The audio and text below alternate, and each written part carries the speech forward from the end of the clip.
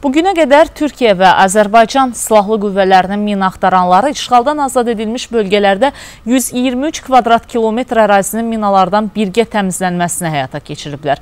Türkiyənin Müdafiə Nazirliyinin rəsmi nümayəndəsi Pınar Kara belə deyib. Əlavə edib ki, birgə 899 nəfər Azərbaycanlı mina axtaran təlimlərə cəlb olunub. Nazirlik rəsmisi iki ölkə hərbçilərinin cəlb olunduğu qardaş briqada layihəsi, o cümlədən müştərək hərbi təlimlərin davam etdiyini də bildirib.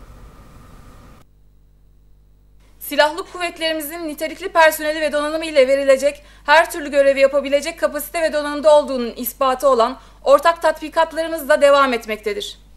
Bu kapsamda Sarsılmaz Kardeşlik 2021 tatbikatı 5-8 Ekim 2021 tarihleri arasında Türkiye ve Azerbaycan unsurlarının katılımıyla Nahçıvan Azerbaycan'da icra edilmiştir. İki devlet tek millet anlayışıyla kederde ve kıvançta bir ve beraber olduğumuz Azerbaycanlı kardeşlerimizin 8 Kasım'da kutlanacak Zafer Günü'nü şimdiden tebrik ediyor. Haklı davalarında bugüne kadar olduğu gibi bundan sonra da tüm imkanlarımızla yanlarında olmaya devam edeceğimizi bir kere daha vurguluyoruz.